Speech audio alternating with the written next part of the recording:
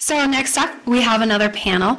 We have uh, Arizona Department of Corrections again, but this is actually going to be our education departments. So they will be working on their presentation, and then again, if you have any questions at the end, and then we will actually break for lunch after that.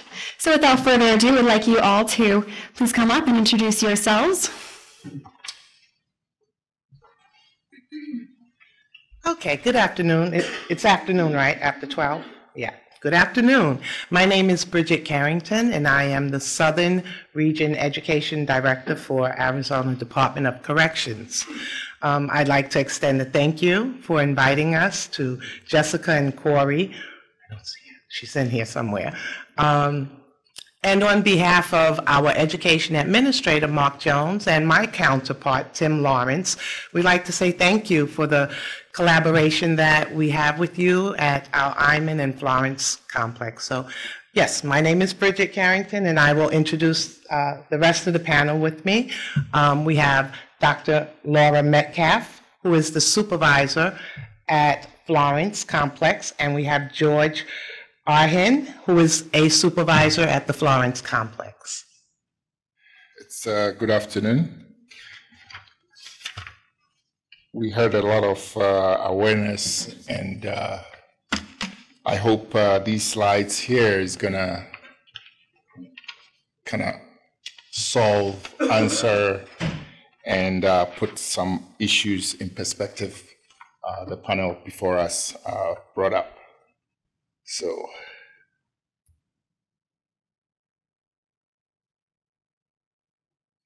That that was my name, and that's how you spelled. So, um, so with, uh, with with this, uh, I would like to start with the programs that uh, we offer uh, at uh, all all our complexes or some of the complexes that uh, um, exist. Um, we we offer the TABE. We call the TABE, but um, previously you've heard mandatory literacy, you've heard functional literacy. It's all the eighth it, it just means the eighth grade level program. So we have, um,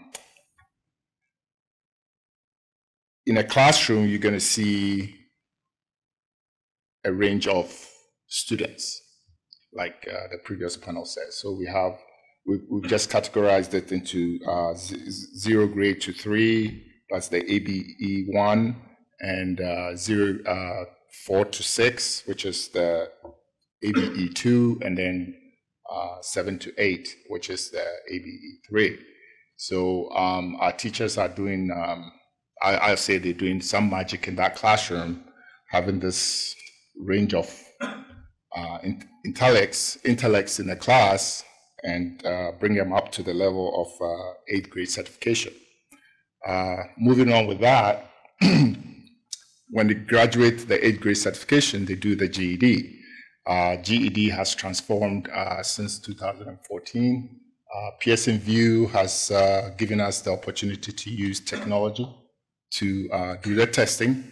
So feedback um, in terms of um, results, scores, and prescriptions are available very quickly. So this is helping us uh, re, re um, teach, re um, educate, and get them back on track to uh, pass this GED. Uh, we have improved a lot. We used to have just those two sessions, uh, the eighth grade and the GED. Now we have high schools coming into our, our correctional settings. At the moment, we have Tucson, we have uh, Lewis, Perryville. Uh, it's moving along very quickly. Uh, Florence is the last on the list, but we're going to get it. It- It's, it's going to happen.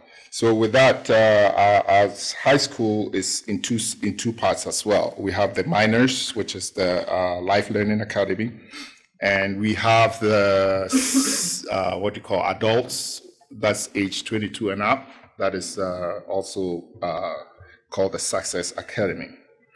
Um, with with uh, all the new changes and everything coming up, we have the education TV that exists uh, just at this time at Florence and Eyman. Um, we have a certified teacher who puts on all the programs that both for both uh, the TABE and the GED. So they those who cannot access the classroom have the opportunity to um, watch these programs, do a, sort of correspondence, uh, quizzes, tests, and all that to prepare them for the actual test. So when they um, graduate, the, the teacher is going to send them to a teacher in the classroom where he can physically come out and uh, actually participate in the um, certification test. When they graduate GED, well, with the with the ETV, there is also uh, vocational training videos that can be accessed as well. Now, with that, you don't have a certificate, but you get knowledge of, I would say, terminologies in waste management, terminologies in um, um, auto mechanics.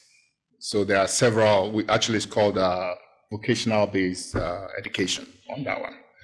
So when they're done with that, you move on to your CTE or distance learning.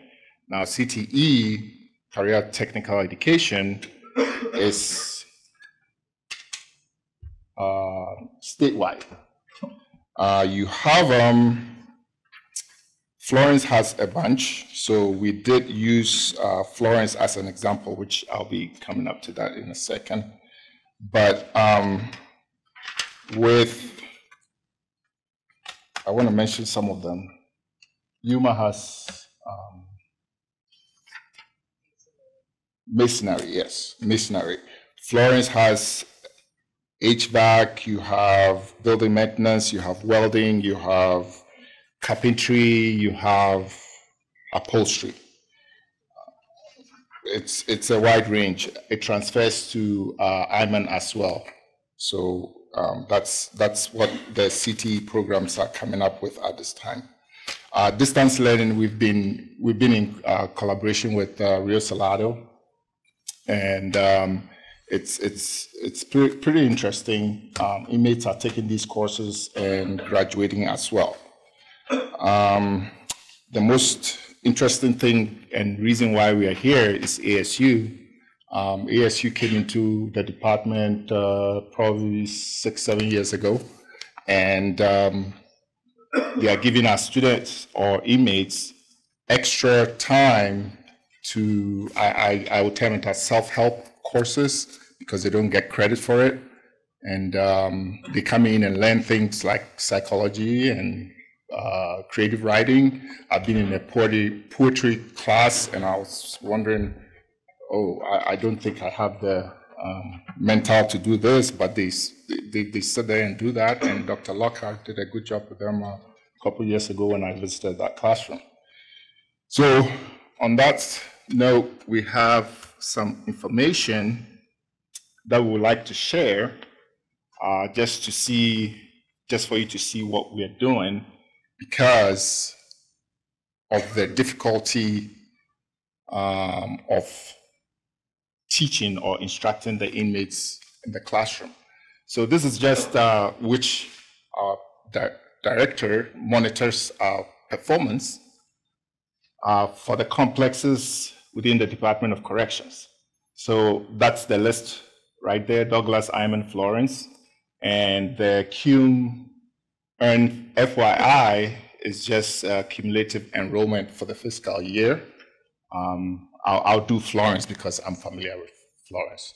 So Florence has 347 uh, completions for the year is 224 average improvement and that's the key thing that we look at as well that this is a difficult group that we teach so um, are we going to look at only completions for our teachers?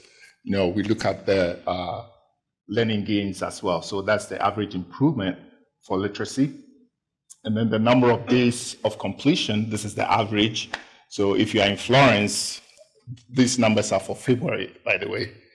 If you are in Florence, it might take you about 76 days to uh, complete. So you are going from a zero or a three grade level all the way to eighth grade. So I, I like to say they are doing a good job. The other section is GED.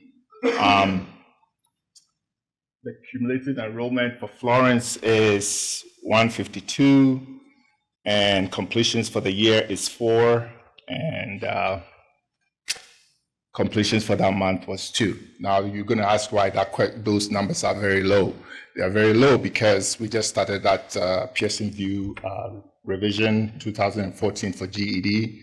It's um, the testing was forthcoming. We, we, we had to, the department had to come up with computers and go through all those um, issues that computers cannot get into the uh, units. So it took us a while, and the department has resolved that. So we have two testers that goes around the state, and um, they have six laptops. Set it up, log in, it shoots to Pearson VUE's uh, mainframe. Main, I'm not technical savvy, but it goes into something, and the test comes up they take the test and uh, it's done. Now, the key thing is the score was very, um, I'd say, for the 14 months of testing, um, it, it was very high. So at this point, um, it's, it's been brought down a little bit to passing score as 145. And so um, I think April 1st is when we should see an update for Department of, from the Department of Corrections.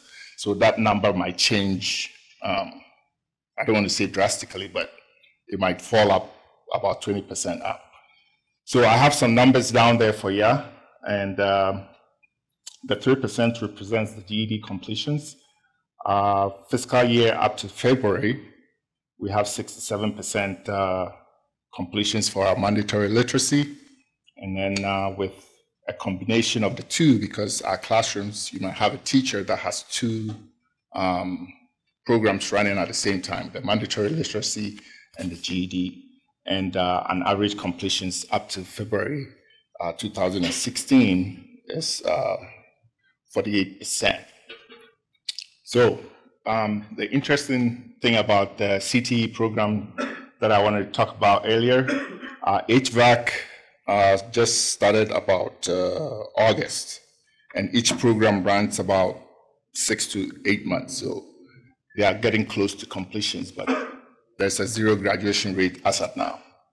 Uh, building and maintenance, um, highly patronized at each unit, and uh, the six graduations, we lost the teacher in between uh, last year, and we just hired a new one. We have enrollment, which is 15, graduation is six, because they were from the previous class. Uh, welding at South Unit has 62 enrollments uh, throughout the fiscal year, and completions 38.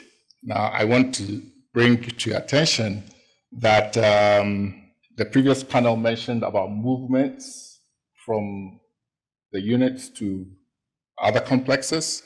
This is the effect because welding, upholstery, and carpentry has been in existence for um, three years, three or four years. So the enrollment you're seeing, uh, the completions you're seeing is just the effect of the uh, transit uh, people that were supposed to graduate before the time that kept moving out. So we lost some, we lost some of the um, potential graduations. ETV, like I said, was uh, only for uh, Eyman and Florence, but as prison awareness is coming, it's, it's, it's blooming really. Um, I know there's an intention to do uh, expansion statewide. It's not implemented yet, but there's the intention to do that. Uh, this is the performance for uh, ETV. Uh, at the moment, between Eyman and Florence, the enrollment is 400. So that's that's a huge number. Uh, can see the completions. Our withdrawals, uh, it's almost, you know, 50-50 with the completions as well. But you have active um, enrollments within the vocational, which is 125. Uh, the GED and functional lit is 12, seems to be very little, which is true because if you can't really read and write, it's going to be difficult for you to participate. So most of these are those who are very close to uh, self uh, study. So, um, and our high school numbers, uh, Lewis just started, so it's zero. Um, Perryville is 34 up to February, and we have 13 graduations. Tucson adults, we have 12 graduations, and Tucson minors high enrollment, as you can see, is 80, and you have one at a time. Yuma, 16, and graduation is one as well. So highlights, um, I, I just want to touch on just a few things that um, it's showing that there is that prison education awareness uh, within the department as well. Uh, change in population, um, South, who's been Central? Some, some of you have been in Central before.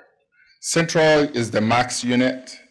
Um, prior to 2014, there used to be enclosures lined up along the walls, and this is where the maximum students will get into that cage and it's locked up, and you just have a little um, opening where you pass in the books and the pencils. Um, I, I, am surprised myself, but those cages are all gone. No enclosures, no more.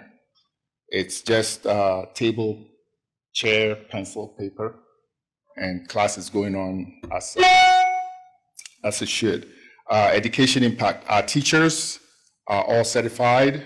Um, this education impact program was brought in by uh, administrator to help um, professional developments for our teachers.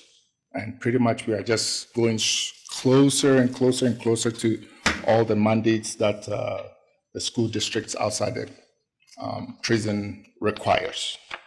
Uh, high school diplomas, um, basically we've adapted the high school systems and we have we have registrars, we have uh, principals, we have all that uh, standards by Department of Education that we are following. So yeah, we we we we transforming that prison uh, education as well. Arizona Home Builders Association. I'm not going to say too much about it, but it's part of the transition as um, we've mentioned before. Uh, we are in partnership with those uh, associations and creating jobs before the inmates even leaves uh, to go back after release. Uh, Pell Grant slash um, Second Chance Grant, that is uh, something that I can't walk through each unit without getting a question. When am I getting my Pell Grant? When am I getting my Pell Grant? Well, that's um, an amazing thing that has um, come up now. ASU is in partnership with us um, starting next academic year to have um, most likely on campus um, classroom um, for liberal arts. So that's a great thing. I think it's going to be at North and East, North and East unit. So those, the, these are the interesting things that I we thought we might share with you. But the next, uh, next Dr. Metcalf, and she's going to give you more details into the grants and uh, ASU programs. Thank you. Looks good. All right, well, I'm Dr. Metcalf. You can call me Laura. Um, let me give you a little background about me. I've spent the last 20 years in public education. 16 of that I have been um, in public school administration. I have been a high school principal. I have been a career and technical education director. I was a high school business teacher before I was uh, drafted into being, as I was walking through the office, that's how I became an administrator. I said no, they're like, yeah, and you'll do it. And I said, okay, if I have to have a job, that's what I'll do. Um, I graduated from ASU twice, and I have also graduated from NAU, easy, three times. All right. The only one I haven't touched yet was U of A. My dad graduated from there. So, um, part of my job that I do at the correction, I'm a correctional education program supervisor, and part of what I do is I also facilitate the ASU education program. Thank you very much for all of you who are here. We are so excited. And so am I, because Corey, I have great plans for next year. Start recruiting some volunteers, because I've got plans. Let's go. So, I firmly believe in education as a transformational element for anybody. And most of my career, I have worked with what you would call the bottom feeder students, the at-risk students, the students no one cares about. Um, when I was a teacher, I got all the students who couldn't graduate. I was a principal. I got all the students from inner city. I had 13 gangs on one of my campuses. And part of my job as a principal of an inner city school was to shoo away those employees of the world's oldest, popu- uh, world's oldest occupation. Make a long story short, I had one of those employees of the world's, world's oldest occupation. I'm hopeful you are aware of what I'm talking about because I didn't want to use the term. Um, come in and ask me for help. And this is that was a transformational uh, piece for me when I, uh, lady of the evening, came in and said, "I need help. You're the only person that I talked to, even though I had them arrested. Um, I need help." And I said, What do you need? I need daycare, I need medical, I need an education. So from there, as a middle, as a, as a, um, as a principal of an inner city school, we started the first GED program. And that is how I became involved with individuals and adults who ended up being lost in the system, forgotten in the system, and dropped out of the system. And so, as an educational program supervisor for the Florence Complex, I am very passionate about helping those who have been not looked at, not absorbed.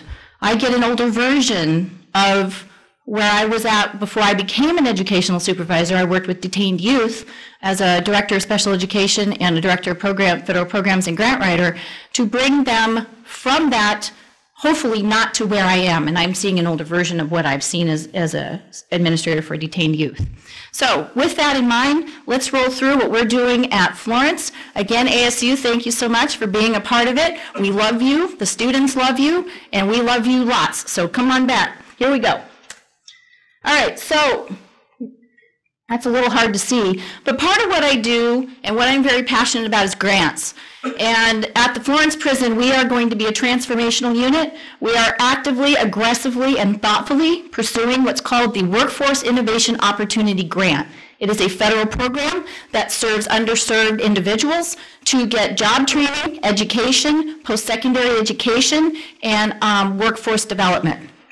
This is a very small version of a, of a visual framework that I have created. And our first element here is to break down our adult basic education or our, can I carry something around? I gotta walk. Is there an? no, I need a microphone. All right, so I'm, all right, so here I am. So I'm going to walk around out here, and so I can point to you the basic areas. We're going to break down our functional education into three levels, which is beginning literacy, 0 to 3, grades ABE 1, 2.8 to 3.9, ABE 2, 4.0 to grades 5.9, and ABE 1. We're going to implement accountability and uh, what we call success performance measures. Our students and our teachers will be responsible for assisting our students in those, uh, to meet these federal guidelines in order to um, facilitate additional success. So I'll, I won't go into all that detail for you, but you can see they're pretty aggressive, and we are looking forward to being able to serve and support those students. All right, so training in Arizona adult education standards will be a mandatory and functional part of our program based on Common Core. Everyone's probably heard of Common Core. Um, and the staff at the Florence unit will begin this um, July 2016. All right, second part of the WIOA grant that Florence will be aggressively pursuing is that of the E ECAP A, Education Career Action Plan A for Adult. by law in public school education, the ECAP is part of K-12, or excuse me, high school education. We're going to take that to another level at the Florence Complex. We're going to make that for adults. Each adult will have an opportunity to be able to, to create personal academic goals for their education and apply those goals directly to an occupational or post-secondary education area for them to be successful in and out of, of the incarcerated world. We're also going to open what we call the College and Career Education Transition Centers. We're starting today, actually, with an education, eh, college, excuse me, College and Career Education Transition Program at our South Unit, which is for our sex offenders. We have 12 organizations joining us today to go over educational opportunities and occupational opportunities for each inmate to be able to become aware of what their options are. But uh, once this moves, we will put this into each of our libraries, and this will be a center that will be open for every student and every inmate. Okay, so I've already talked about the Educational Career Action Plan Adult, their goals, and the College and Career Education Transition Fair. That's taking place today. That will turn into a center that will operate every day for every inmate. Next part that we're going to talk about are workforce preparation. How many of you have degrees and have had a tough time finding a job? Oh, I'm the only one in the room? Wow. Okay, there's three of us. All right. Well, we're going to put an end to that. We are going to offer an opportunity for the student to be able to put their skills that they've learned in the classroom into a sense of reality. And so what we're going to do is provide additional support and instruction in how to create a resume.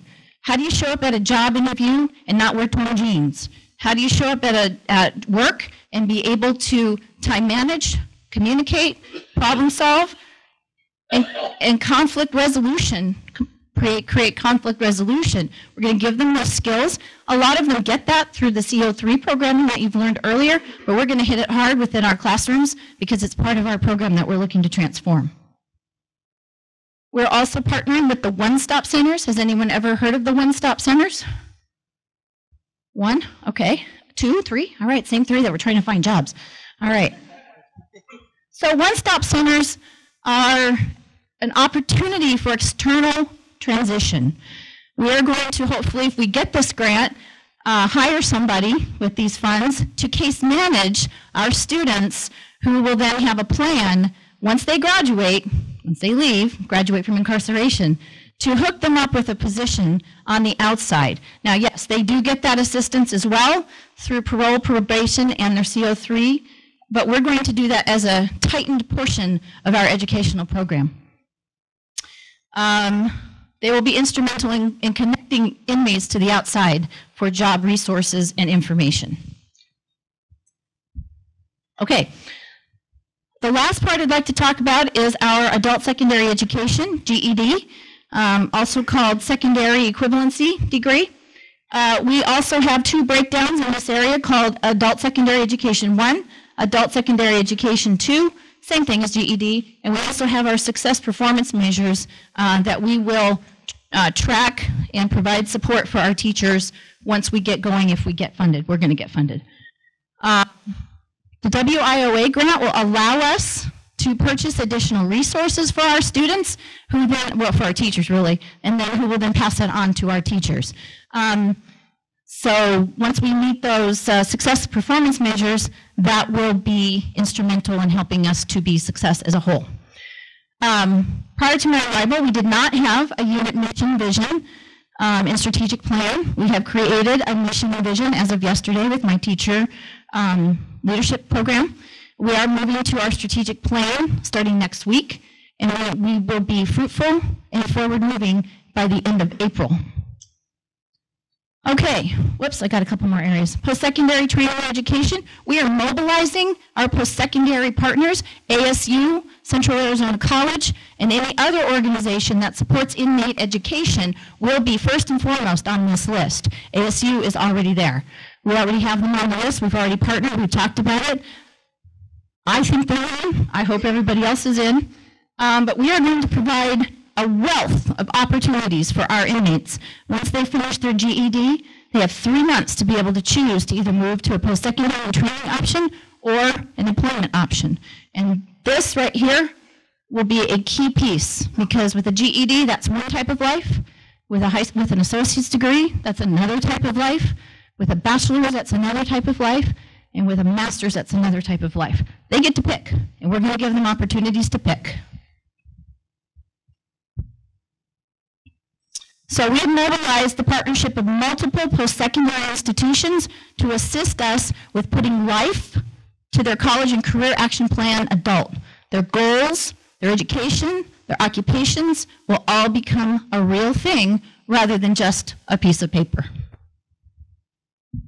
All right, most importantly, teachers, professors, all need to have professional development. Having been a teacher and administrator, professional development for a teacher is critical.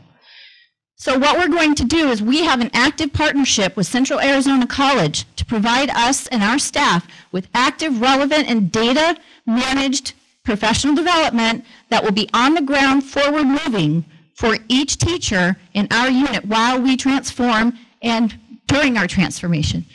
Those discussions will continue, and that will be part of and is a requirement of our grant should we be funded. All right, here we go. All right, ASU. ASU will be a key player in our Second Chance Pell Grant. It's not our grant, it's theirs. And we are hopeful that they will be able to be funded um, because at this point, it will be an opportunity, a real live, face-to-face liberal arts degree on the ground in the classroom with real instructors, not that you guys aren't real instructors, you guys are, but professors, they are, that bring the reality of ASU to Florence. That's it. That's where we're going. We want it day to day. Yes, ma'am.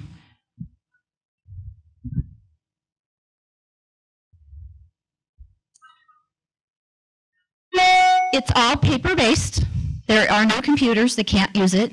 Um, and ASU will be able to bring in those um, paper books, those books and those resources um, directly to a traditional delivery, not a hybrid delivery, not an online delivery, face-to-face traditional delivery. Yes, sir.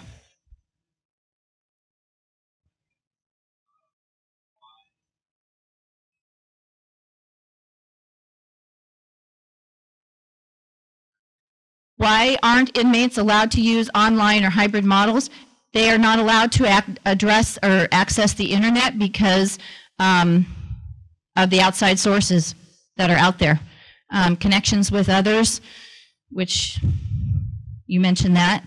Um, it's just not an opportunity for them to be able to use the internet because they are not allowed to send emails. Uh, they're not allowed to access internet websites. Um, none of that. That's a policy that no one's asked me to put into place, but that's what our, that's what we're doing.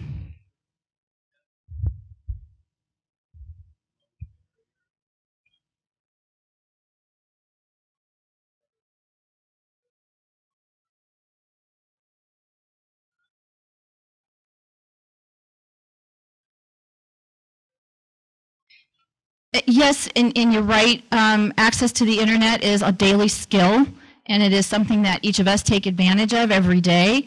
But um, I can't tell you at this point in time if there are individuals working to change that. At this point, I can't answer that. I'm sorry.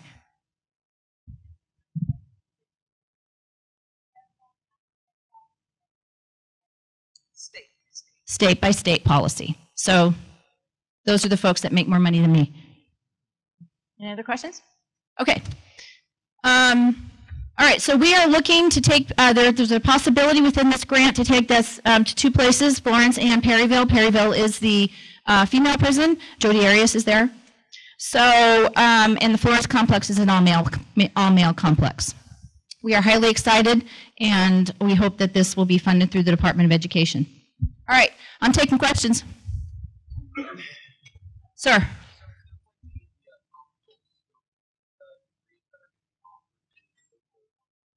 That's correct. At this time, that is what ASU has decided to put into their grant application.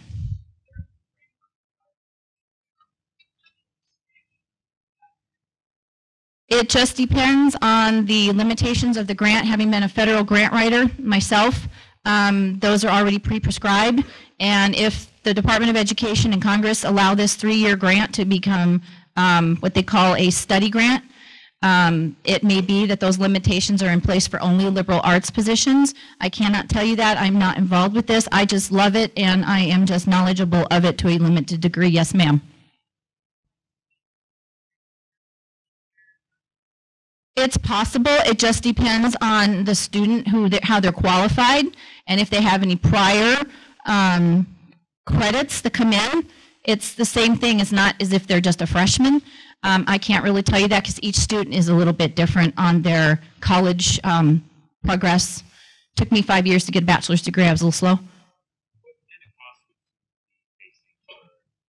Everything's provided, and it's a Pell Grant. They will have to complete a FAFSA application. Uh, They will need to qualify under this particular program according to the guidelines of the program. Um, So it, you know, it- it's a, it's an experimental, what they call experimental education grant. They will be pulling data. This will become a program, and they will study that for possible future funding opportunities. Sir?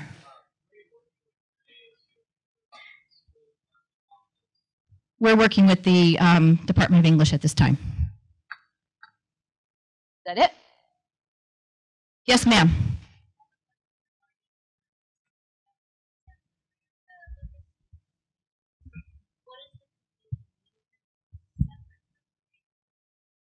Uh, completions is uh, you have three sections, which is uh, math, reading, and language. So when you pass all those three sections, then that's a completion.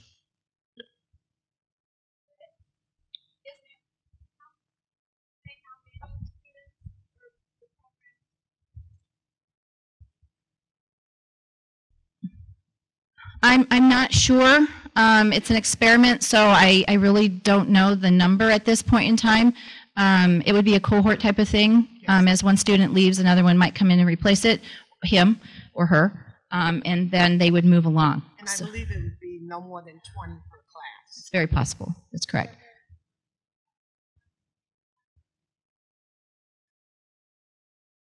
Um, it, that's to be determined. Yes, ma'am. As of right now, I don't know the exact details of the grant. That is in ASU's purview. Um, I have not read the RFP on that, but as of right now, that's what's being proposed from ASU's point of view to put into this grant application. Uh, I can't tell you if there's any STEM elements in there. I cannot tell you that. Uh, It is public record. If you'll go to the Department of Education, Federal Department of Education uh, website, you can do Second Chance Pell Grant and be able to pull up that RFP. They're probably several hundred pages long.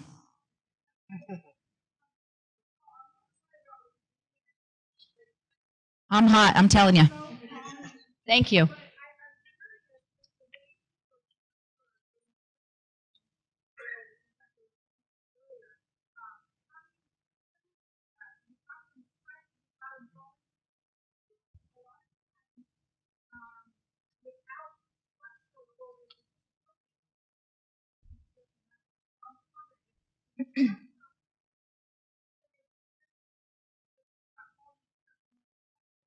Yes, and, and let me, uh, I'm just going to jump in and help with this answer.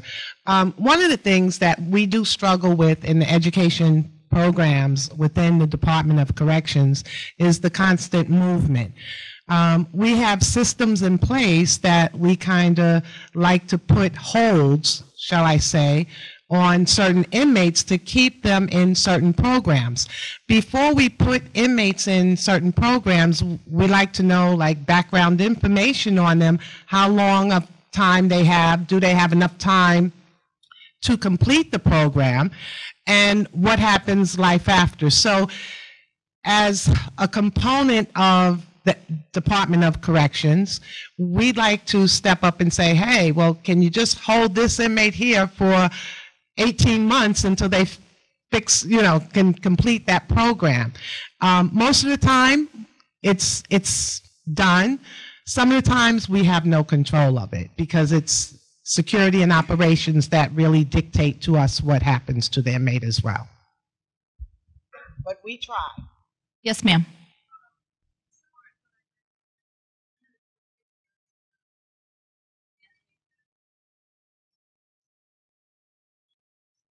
Yes.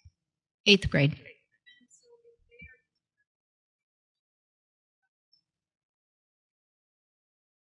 Okay. Most of the time, they're not released. Uh, they have to pass that mandatory literacy upon release, and we have systems in place to make sure that they do pass uh, before they leave.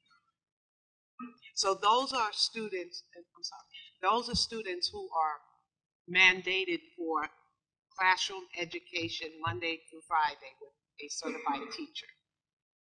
So it's, they are not moved, and we ensure that they receive the proper education and the support to help them pass the mandatory literacy.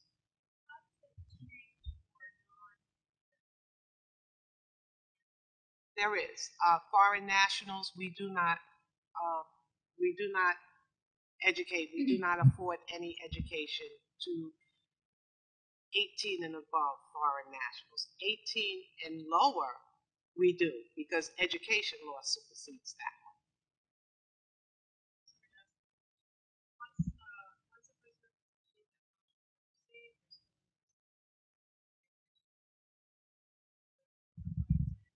No, it's free. It's We- free. It's free. And, and that's gonna probably be my part, once we get to there, um, how we transition our inmates through.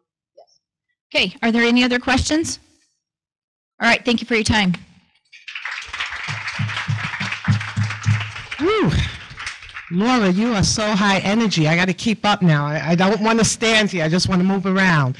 Um, okay, my name is Bridget Carrington, and I know some of you have picked up on the accent. Yes, I am from Brooklyn, New York. Um, I, I do talk different, so I do say water and you know things like that. Up the street, not you know down the block, not up the road. Okay, so one of the things. Okay. One of the things that, one of the highlights that we have in the Department of Corrections are our CTE programs. These are partnerships with seven community colleges. Those are the seven up there. Um, all of our complexes, except for Phoenix, we have a collaboration. So the question that you asked about, well, what happens when our students finish basic mandatory literacy? Well, now they can be afforded to go into our high school program, GED programs, and then segue into one of these vocational training programs with the community colleges. We offer in these CTE programs building maintenance and repair, carpentry, construction, electrical tech, HVAC, masonry, plumbing, and welding. Last year, we issued a total of 792 certificates to our inmates in those areas. That's a big thing because this will translate into jobs when they, when they get out of prison. Our enrollment for the CTE programs, Cochise College, 67, Central Arizona, 29, Rio Salado, 926. Their number is big because they're in a couple of our uh, complexes, Perryville, Lewis, and they also provide the distance learning um, to most of our inmates. Eastern Arizona, we have 105. Pima, 305. Northern Pioneer, 90. And Arizona Western, 149.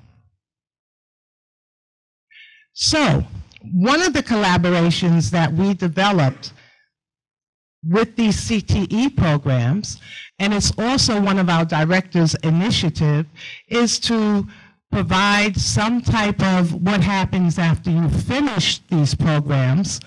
Do you get a job? Well, we went searching and we started a collaboration with Arizona Home Builders Association.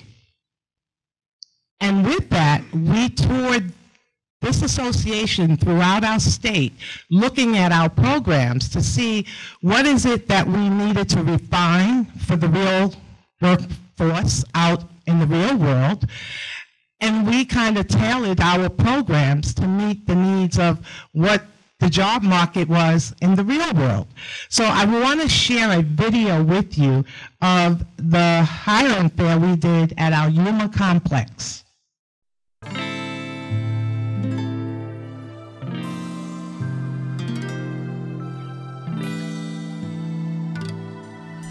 My name is Lori Young. I'm one of the education supervisors at the Yuma Complex, and today we are doing a hiring fair at the La Paz unit. The opportunity has been extended to inmates who completed a voc ed class and are being released before July 1st of 2016. We have five different contractors here offering jobs to those inmates. I'm Connie Wilhelm, President of the Home Builders Association. We're here today at the San Luis Prison um, doing a hiring affair with five of my subcontractors. I represent the Home Builders Association of Central Arizona and we need labor. We're here very excited about the programs that the inmates have participated in and look forward to many more of these hiring events.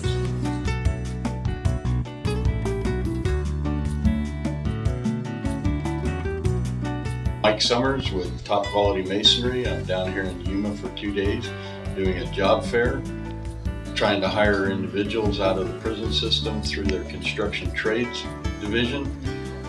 Have actually had some good commitments that are going to be calling and coming to work in the next two to three weeks. Hi, my name is Chris Fiedler. I, uh, I attended the job fair today. I've been involved in the work-based education programs and they gave us the opportunity to come to the job fair today. Hopefully be able to find a career, something lifelong, be able to better my life, stay out of trouble and move forward instead of just staying in the same place.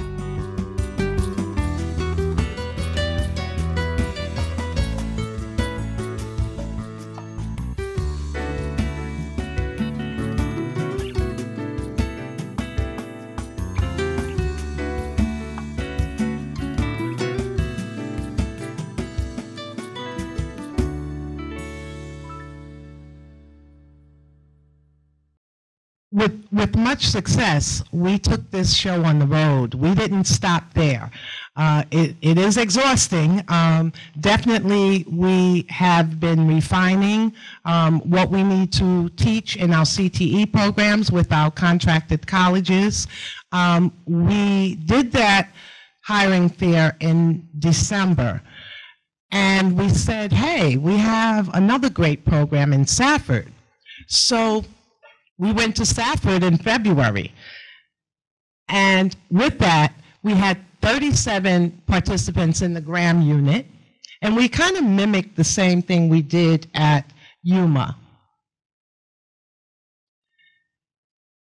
And during this hiring fair, the most interesting part that I found was that the inmates would walk up to the contractors and say, Well, are you still going to hire me because I have a record? And of course, the contractors we brought eh, there to the complexes, it was no secret that these were convicted felons and they were employable. So when one of the inmates walked up to me and said, Is this for real? And I said, Are you for real? I, do you really want a job? I, do you want to put that best foot forward? And most of the inmates that we targeted were the inmates who completed these programs and also who were being released uh, from prison within 60 days. So that we had their resumes, well, the contractors did.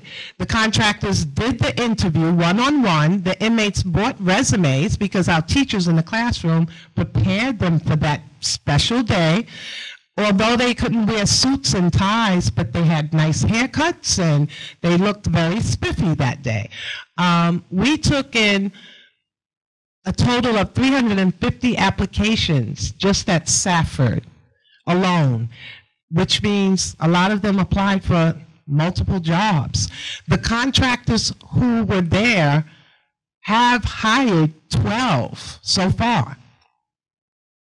And, and we plan to take this, this show back on the road. We want to go to Perryville, and you would say, Females, home builders, yes, we have a great electrical program there um, that they would also participate in the hiring there. Um, so that's it from the highlights of what happens, what, how do we plan for uh, our inmates afterlife, after corrections? As the education program, we like to be a part of that for all of our students that participate in our education programs. Thank you.